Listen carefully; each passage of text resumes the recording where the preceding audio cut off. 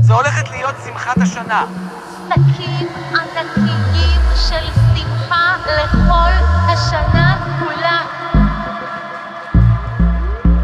הידברות מזמינה אתכן, הנשים, לשמחת בית השואבה בסוכות. באיצטדיון המושבה בפתח תקווה. יהיו שם 12 אלף נשים, עם הרב זמיר כהן, הרב יצחק פנגל, הרב יגאל כהן,